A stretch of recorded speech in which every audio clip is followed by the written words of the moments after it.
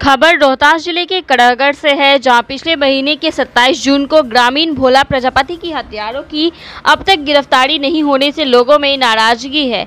बता दें कि पैसे के लेन देन के विवाद में भोला प्रजापति को गाँव के ही दबंगों ने गोली मारकर हत्या कर दी थी। मामले में नामजद प्राथमिकी दर्ज की गई थी लेकिन अभी तक अपराधियों की गिरफ्तारी नहीं हुई है जिसको लेकर परिजन हताश हैं। घटना कैसे हुई? चाचा थे मुकेश मुकेश चाचा थे है ना? वो पापा हमारे गए छुड़ाने के लिए। उसी में कि- काम किया दिनेश सिंह। मिडस हम उमेश सिंह के छोट छोट भाई है। और दिनेश सिंह का काम किया ना और लिया के पापा को गोली मार दिया। ये घटना कहाँ की है? बभनी के। अभी क्या स्थिति है उनकी? उन मर गए डेट गए। वहीं प्रजापति समन्वय समिति के अध्यक्ष पिंटू गुरुजी का कहना है कि रोहतास जिला में लगातार अति पिछड़े समुदाय के लोगों पर हमला हो रहा है, उन पर अत्याचार किए जा रहे हैं। लेकिन प्रशासन इस पर ध्यान नहीं दे रही है। उन्होंने कहा कि समय रहते अगर अपराधियों की गिरफ्तारी नहीं हुई तो प्रजापति समाज आंदोलन के लिए बाध्य होगा। बता दें कि पैसे के लेन देन के विवाद में भोला प्रजापति के भाइयों से गाँव के ही एक शख्स का विवाद हो रहा था। बीच बचाव करने के दौरान उन्हें गोली मार दी गई, जिससे वह गंभीर रूप से घायल हो गए। वाराणसी में इलाज के दौरान मौत भी हो गई। अपनी गाँव में जो घटना घटी है, इसकी इतना दुखद है कि जिसका मैं निंदा करता हूँ। इस समाज में सबसे ज़्यादा हमारे नज़र में लगता है कि अति पिछड़ी जातियाँ हो चुकी हैं। एक घटना रहती तो मैं जिला का प्रकाशित करता, एक महीने के अंदर चार चार पाँच पाँच घटनाएँ घटित हुई है मेरे नज़रों में।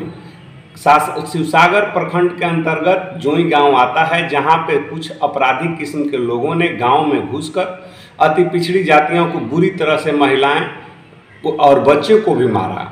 उसके बाद उसमें अभी तक कोई कार्रवाई नहीं हुई। सासाराम प्रखंड के धनकाढ़ा गाँव के, में माँ ताराचंडी के बगल में एक गरीब दुकानदार अति पिछड़े जाति से आता है, जीवन भरण पोषण करता है। उसकी भी दुकान में तोड़फोड़ गिर गई, उसके बच्चे और उसको बहुत बुरी तरह से मारा गया। उसमें भी अभी तक प्रशासन की कोई रवैया नहीं दिखी। चेनारी प्रखंड में जो घटना है, एक नरौरा गाँव की, वहाँ पर भी वर्चस्व जातियों ने अति पिछड़े समाज के लोगों को मारकर सर और फाड़ दिया। उसका भी केस अभी तक लंबित है। और सबसे बड़ी दुखद घटना बभनी गाँव की है, जो करघर प्रखंड में आज से चार दिन पहले, पाँच दिन पहले गोली कांड हुई। जिसमें कि भोला प्रजापति को गोली मारकर उसी गाँव के अपराधी ने हत्या कर दी। लेकिन पुलिस अभी तक कोई गिरफ्तारी किसी भी अपराधी को करने में नाकामयाब रही है। राजनीतिक दल की बात अगर की जाए तो माननीय मुख्यमंत्री महोदय नीतीश कुमार बोलते हैं मैं अति पिछड़ा का सबसे रहनुमा नेता हूँ। अति पिछड़ा मेरा वोट सबसे बड़ा वोट बैलेंस है और उसके लिए मैं जो भी अभी तक किया हूँ सबसे ज़्यादा अति पिछड़ा के लिए मैं काम किया हूँ।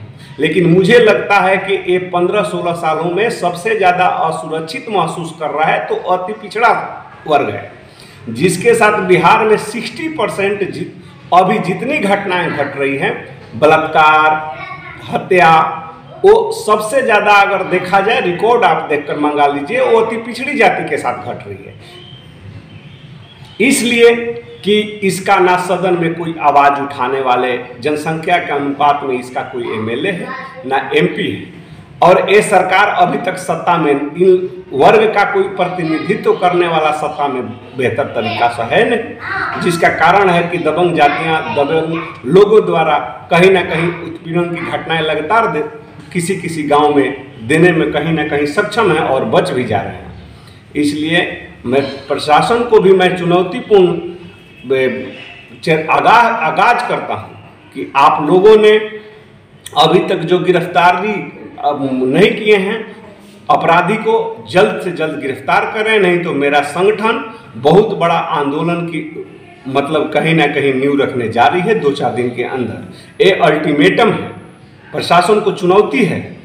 क्या नाम रहेगा मेरा नाम अरविंद कुमार उर्फ़ पिंटू गुरुजी जिला अध्यक्ष रोहतास बिहार कुमार प्रजापति समन्वय समिति।